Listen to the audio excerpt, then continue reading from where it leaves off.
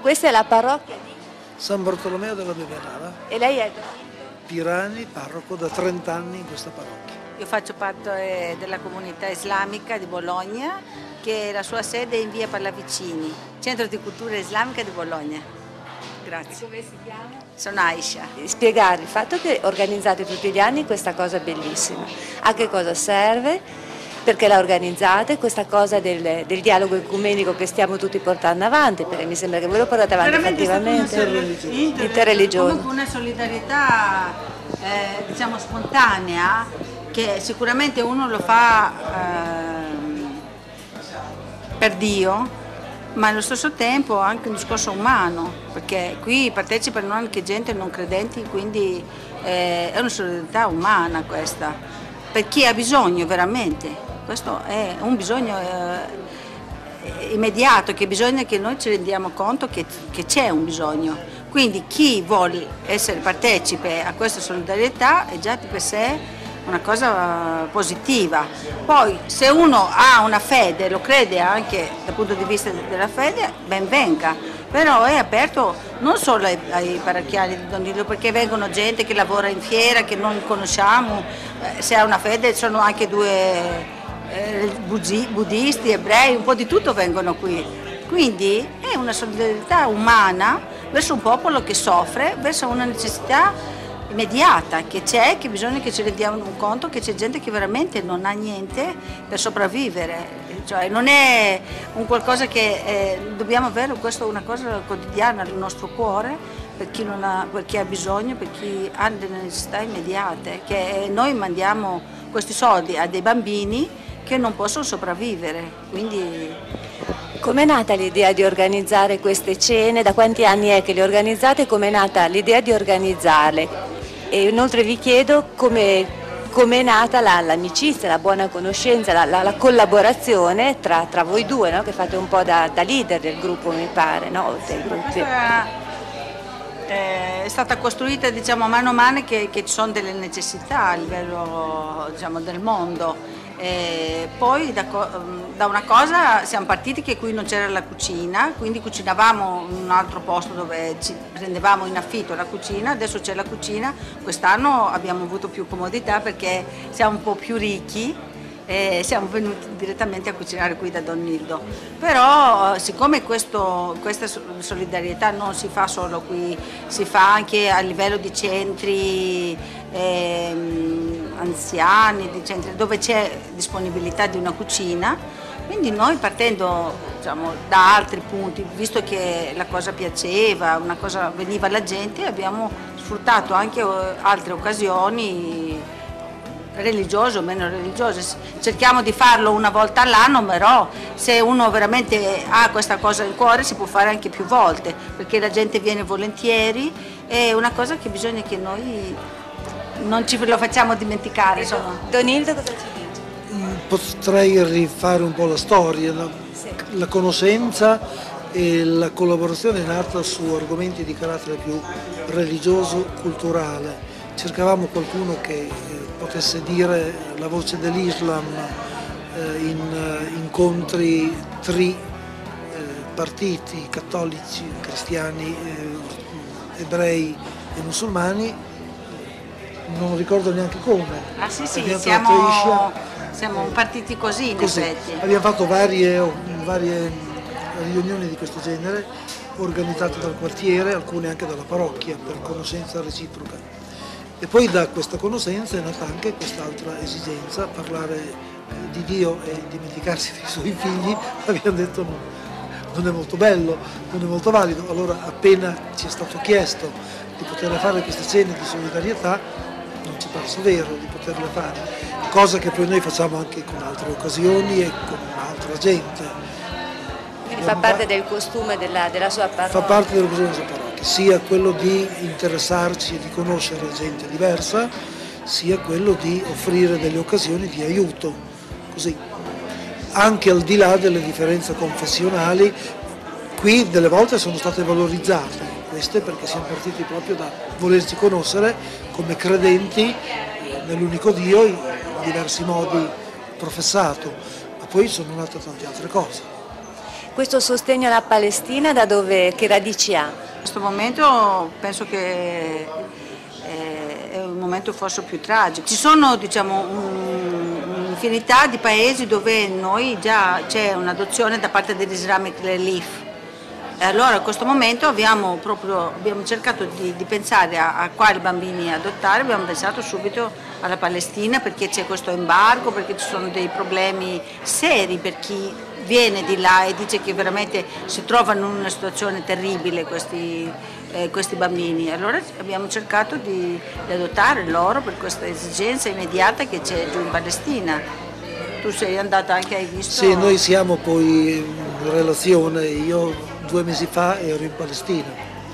Io ho visto, a Gaza non ci hanno lasciato andare perché ero poco sicuro, ci siamo andati vicini però, ma ho visto il resto della terra le zone palestinesi circondate dai muri, la gente che è lì con pochissime risorse, non è che gli ebrei stiano molto meglio, anche così, solo che sono quelli che hanno più mezzi e quindi... Forse sono anche due... più sostenuti magari dall'Occidente. Sì, sì anche... eh? mezzi perché sono più sostenuti, ma certo, certo. Poi due modi di concepire la vita molto diversi, situazioni alle spalle diversissime. Comunque queste cose ci hanno sempre interessato in questa parrocchia. Noi andiamo abbastanza spesso Quindi con una qualcuno. grande sensibilità nei confronti sì. di questi popoli.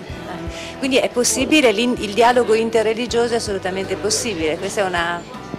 Se, se, è tale non solo è possibile ma è necessario. È importante. È importante. È importantissimo. Riteniamo credenti nello stesso Dio, sì. provenienti dalla fede abramitica, Abramo tutti e tre cristiani ebrei, i Bai vogliono aggiungere anche loro che sono la fede in un unico Dio. Non sono sempre facili eh, questi rapporti, soprattutto perché interferiscono questioni sociali, politiche che come si sa invece di unire dividono, mentre di per sé la religione potrebbe unire e unire moltissimo e io spero che eh, la religione superi le altre divisioni. Quali sono le questioni sociali in particolare che tentano di dividere o comunque che esprimono? Senso? Qui l'ingiustizia, l'occupazione da parte di un popolo verso un altro popolo e sono, sono questioni molto importanti. Per chi crede la giustizia è la cosa che, che deve... Fede senza giustizia non esiste. Cioè io non posso venire a rubare la tua casa, il tuo vivere per stare meglio io e te cacciarti fuori dalla tua casa. E due sere fa qui era nostro ospite un personaggio che fece molto parlare di sé, l'abate Franzoni della comunità di San Paolo, incontro bellissimo, serenissimo, per niente contestatore. Lui ricordò nei tempi della sua vicenda, quindi dopo il concilio, parlando con molto rispetto e ammirazione di Paolo VI, che Paolo VI intervenne ai tempi in cui ci fu l'attentato con molte vittime alle Olimpiadi di Monaco, un gruppo di comando si entrò nel bilancio sì, olimpico e tutti, ecco, e ci fu un intervento anche di Paolo VI che ovviamente deprecò, poi aggiunse, eh, bisogna però anche tenere presente che queste cose nascono da contesti di ingiustizia che diventano eh, l'alimento poi della violenza che esplode anche in queste forme che possiamo provare, che si possono anche capire però. E questo è un aspetto molto importante e interessante. Sul nostro territorio eh, vi sono delle, delle, spinte sociali verso questa, questo tentativo di unione o di collaborazione o di cooperazione? Quale intende nostro? Territorio nazionale.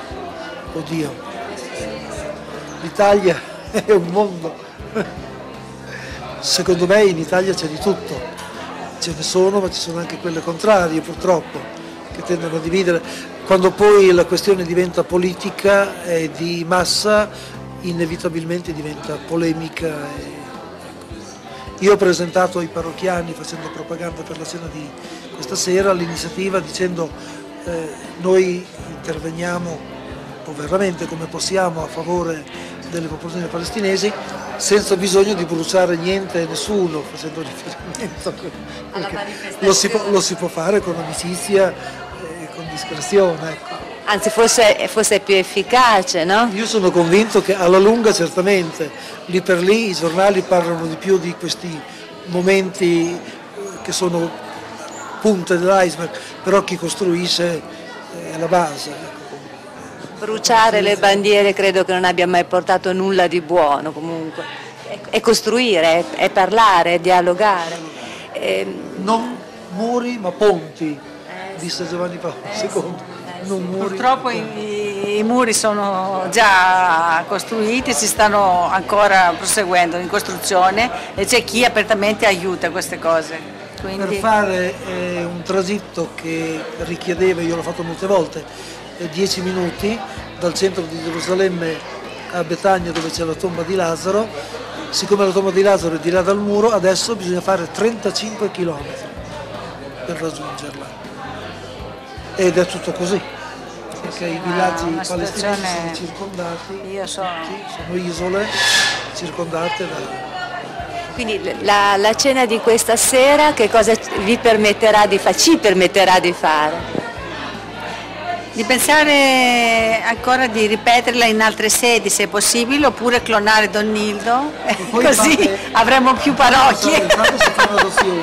Sì, intanto facciamo questa adozione che poi eh, spero che insomma, loro ci, ci manderanno loro anche foto per, per farli vedere l'anno prossimo, insomma ci sarà mm, un'adozione che poi vi faremo sapere chi sono le bambine, il loro nome, insomma che va a buon fine tutto e inshallah speriamo al meglio.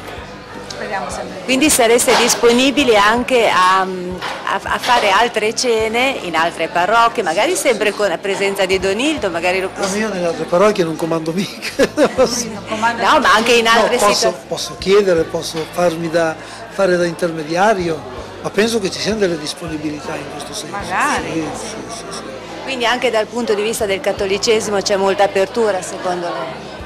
ci sono delle persone che sono certamente disponibili. Il rischio è che se queste cose vengono viste senza conoscerle diventino oggetto di polemica, se uno le conosce e vede cosa si fa, penso che non abbia niente da ridire, né dal punto di vista sociale né dal punto di vista religioso non so cosa ci si potrebbe ridire a questo. Noi non siamo per il mescolamento delle cose, per dire che è tutto uguale, no? Certo. Il dialogo vuol dire che ognuno conosce se stesso, le sue tradizioni, assolutamente, la sua assolutamente. storia, la sua identità. E questo farsi conoscere per noi è molto importante oggigiorno, perché di quello che mi risulta, io sono 30 anni che vivo qui, e molte volte ho parlato proprio con la dottoressa, la pediatra del mio nipote un giorno riferendogli che nel Corano c'è un capitolo che si parla di Maria, che per noi Gesù è una figura molto importante di, di gran rispetto, sono tutte cose che un, un cattolico non sa sull'Islam. Quindi io per quello che mi risulta diciamo, nel mio piccolo, nella gente che io frequento, non sanno niente della mia fede Invece per un musulmano, viceversa, un musulmano sa già tante cose del cattolicesimo, di, della cristianità, dell'ebraismo, di, di tutti, i profeti precedenti. Invece il Corano le ha assorbite, non, non sempre diciamo noi la forma, nell'unica forma, mm, le ha assorbite in una forma che non è l'unica possibile, ce ne sono anche altre, per cui c'è da discutere, c'è, il, mu- da. Il muro più alto è quello dell'ignoranza. Certamente. E con eh, il fatto che mentre gli altri si vedono e loro si possono anche evitare, distruggere, quello non si vede. Ed è quello più terribile. Non si vede solo quando proprio ci batti contro eh? sì, sì. e questo succede Ma tante forse volte. questo è un obiettivo che hanno i grandi, di tenere la gente proprio ignorante.